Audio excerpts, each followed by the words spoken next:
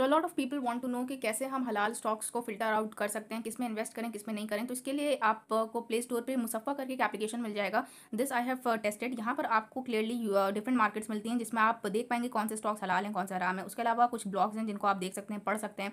काफ़ी अच्छा कॉन्टेंट इन्होंने प्रोवाइड किया है। तो स्टॉक स्क्रीनर पर जाएँगे। यहाँ पर आपको यू के स्टॉक्स देखने को मिलेंगे। तो फ़िल्टर पर आप जा सकते हैं। फ़िल्टर में कंप्लाइंस में जाएँगे। तो आप सिर्फ़ हलाल पर टिक कर लें अप्लाई कर दें तो जितनी भी हलाल कंपनीज़ हैं आप क्लियरली देख पाएँगे ये यूएस मार्केट की है। सिमिलरली अब क्योंकि हम इंडिया से हैं तो हम इंडिया चूज़ कर लेंगे और इंडिया में आप देख पाएँगे कि कौन कौन से स्टॉक्स हलाल हैं कौन से नॉट हलाल की कैटेगरी में। अब आप यहाँ पे क्लियरली क्योंकि हमने फ़िल्टर लगा रखा है तो आपको हलाल जितने भी स्टॉक्स हैं वो दिखाई दे रहे हैं। और आप ऑलमोस्ट टेन स्टॉक्स में भी आ, लगा दें एक एक लाख रुपए करके दस लाख भी इन्वेस्ट कर दें ट्वेल्व परसेंट के हिसाब से आप काफ़ी अच्छे रिटर्न बना पाएँगे। अब यहाँ पे लेट्स लेट से हम नॉट हलाल भी चूज़ कर लेते हैं तो अप्लाई करें।